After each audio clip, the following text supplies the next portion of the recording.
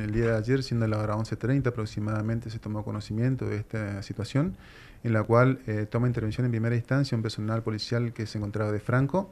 Eh, al lugar arribó y eh, determinó que se trataba de un menor de 10 años quien fue trasladado hasta el hospital pediátrico a fin de ser atendido por el facultativo en turno en virtud de las lesiones que poseía. Esta colisión se ha producido entre un vehículo y una bicicleta en la cual circulaba el menor. Eh, en el momento de arribar el personal policial, eh, determinó que el conductor del rodado del vehículo eh, se, dio a la fuga.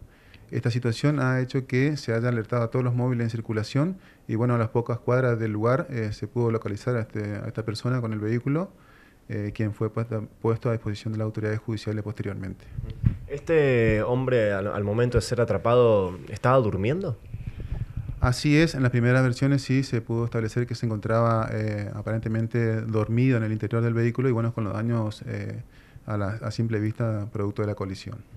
¿Se pudo establecer si esta persona estaba alcoholizada? Así es, posteriormente se ha realizado el test de alcoholemia y bueno, dio como resultado positivo 2,5 miligramos de alcohol en sangre aproximadamente. Y bueno, esto fue, esta, esta situación fue puesta a disposición de la, de las autoridades judiciales que han, han dispuesto la detención de esta persona. Esta graduación alcohólica es mucho más de lo permitido para, para circular en un vehículo, ¿no?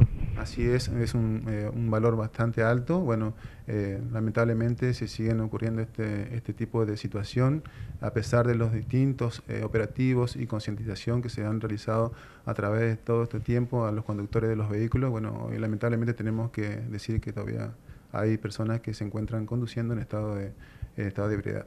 ¿Esta persona fue inmediatamente detenida?